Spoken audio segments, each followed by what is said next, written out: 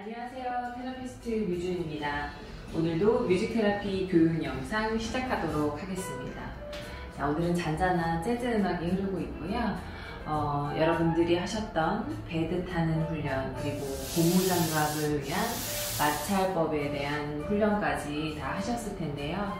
사롱으로 하는 훈련과 여러 가지 훈련을 했을 때 이제 잠깐 쉬어가는 과정에서 생각을 해보면 우리가 하체의 움직임을 많이 해야 된다. 그리고 본인은 앉는다고 생각을 하지만 거의 대부분 허리를 이렇게 숙여서 나 앉았어 라고 생각하는 경우가 되게 많습니다. 그래서 자세에 대한 거는 끊임없이 얘기를 해도 지나치지 않기 때문에 거울 속에 있는 제 자세들을 보고 하체의 움직임 그리고 어느 정도의 움직임이 필요한지를 계속 눈여겨보실 필요가 있습니다. 자, 베드가 앞에 있고요. 실습자가 누워있는다고 했을 때 로미로미 그 오일링 동작을 보면 부드럽게 연결하는 동작들이 굉장히 많이 나오죠. 그래서 사람이 누워있다고 생각하면 어, 기립근을 타서 어깨 쪽으로 올라가는 이런 동작들이 있는데 이걸 약간 춤으로 표현을 해보면 어떨까 해서 영상을 한번 만들어 보도록 하겠습니다. 자, 기본적으로 무게 중심은 항상 아래로 내려가 있어야 됩니다. 하체에 지지대가 있어야 하고 본인의 어깨만큼 다리를 벌린 상태에서 무릎이 어, 두 번째 발가락과 일직선이 된 상태에서 모든 동작을 시작하셨으면 좋겠습니다. 그게 기본, 첫 기본. 그리고 호흡을 하고 본인의 몸을 스트레칭 하면서 깊게 심호흡을 내뱉은 다음에 모든 동작을 시작하시면 좋을 것 같습니다. 음악에 맞춰서 오른쪽, 왼쪽 골반을 움직여 볼게요. 처음에는 오른쪽, 왼쪽으로만 가던 것을 약간 비틀어 볼게요. 어, 제가 그 운동법으로 그 영상을 만들기도 할 거고 또 실질적으로 근처 공원에서 흔히들 쓸 수 있는 기구들을 사용한 훈련법도 많이 영상을 제작을 할 건데요. 어, 좌우의 밸런스를 생각하면서 체중 이동을 했다면 이번에는 약간 틀어서 대각선 방향으로 틀어서 무게중심을 이동하면서 하체 움직임을 쓸 때 어깨가 틀어지지 않는 상태로 동작들을 할 수가 있습니다.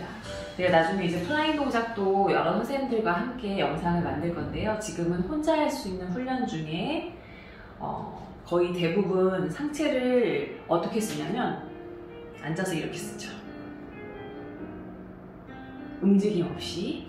자, 그렇다면 우리는 하체 움직임을 통해서 상하체가 같이 좌우로 앞뒤로 움직이면서 팔만 뻗어서 그대로 동작을 만들 수가 있습니다. 한쪽만 만지는 게 아니라 내 어깨가 틀어지지 않게 부드럽게 음악을 타면서 마치 춤을 추듯이 또는 마치 무술을 하듯이 여러 가지 동작들을 생각하면서 내 몸이 틀어지지 않게 내 자세가 틀어지지 않게 부드러운 동작을 만들어낼 수 있는 훈련. 자, 허공에다 대서 이렇게 훈련을 하는 모습을 본인이 거울이 있으면 찍어보셔도 되고요. 베드에다가 됐을 때는 이런 식으로 처음에 제가 이 동작을 가르쳐 드렸는데 한 자리에서 내 하체 이동만을 위해서 어, 움직임을 적다가 나중에는 좀 전에 연습했던 동작.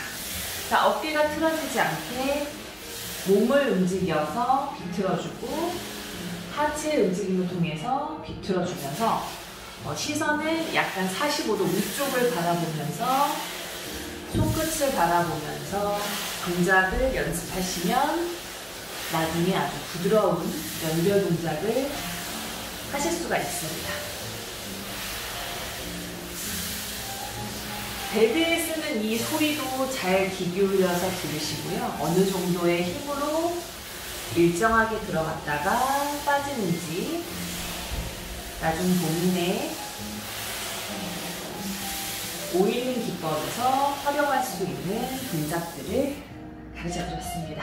자, music therapist는 항상 bed 앞에서 겸손한 마음으로 행복한 therapy를 할 수 있는 사람입니다. 오늘도 행복하세요.